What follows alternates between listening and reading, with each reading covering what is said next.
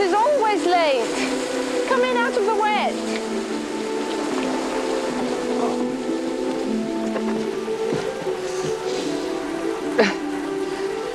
You must take good care of yourself, Mrs. Benn. You too, Mr. Stevens. Promise me that. Oh, yes, I promise. You must try to do all you can to make these years happy ones for yourself and for your husband. We may never meet again, Mrs. Benn. That is why I'm permitting myself to be so personal, if you will forgive me. Thank you, Mr. Stevens. Oh, here it comes. It's on time for once.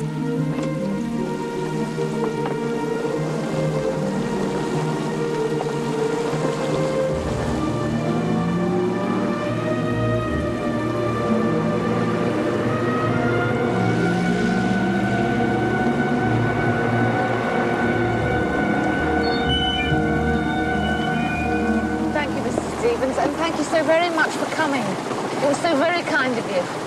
It was so nice to see you again. It was a pleasure to see you again, Mrs. Benn. Goodbye. Take care.